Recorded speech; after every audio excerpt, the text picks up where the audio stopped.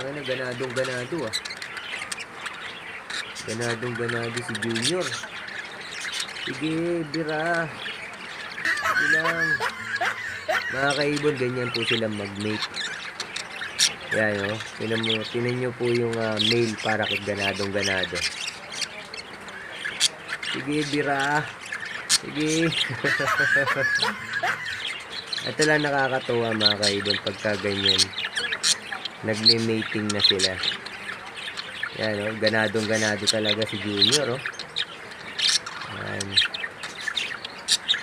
Ang male parakit po mga kaibon, ano, siguro mga 1 year na sa akin. Then yung hen, 9 months.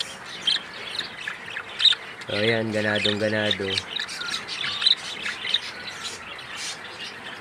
Wala naman akong pinapainom sa kanila kundi selectrogen lang. Ah, napagod si Junior ah. Isa ka pa, eh, isa pa ata oh. Wala na, pagod na.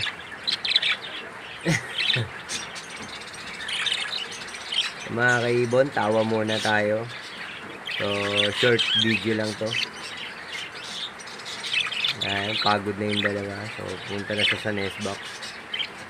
So, salamat sa panonood. At least napatawa kayo. Thank you.